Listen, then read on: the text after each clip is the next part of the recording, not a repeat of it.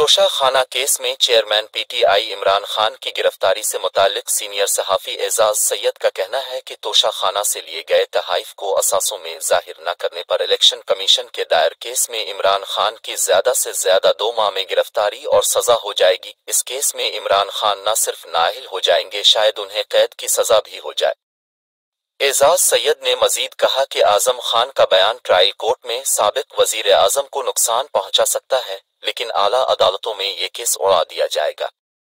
Islamabad high court ने तोशा खाना case काबिल समात करार देने के खिलाफ इमरान खान की दरखास्त 27 जुलाई को समात के लिए मुकर्र कर दी है, जबकि सबक वज़ीर आज़म की छह मुकदमत और बुशरा बीबी का एक मुकदमा दूसरी अदालत मुंतकिल करने की दरखास्तों पर समात 26 जुलाई को होगी।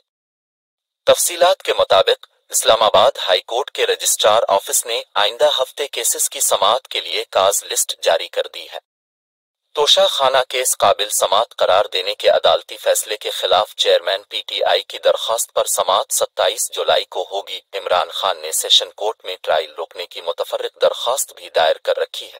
गुजश्ता समात पर चेयरमैन पीटीआई को तोशा खाना ट्रायल पर हुक्म इम्तना नहीं मिल सका था। और अदालत ने सिट्टे ऑर्डर जारी करने की दरखास्त पर भी नोटिस जारी किए थे।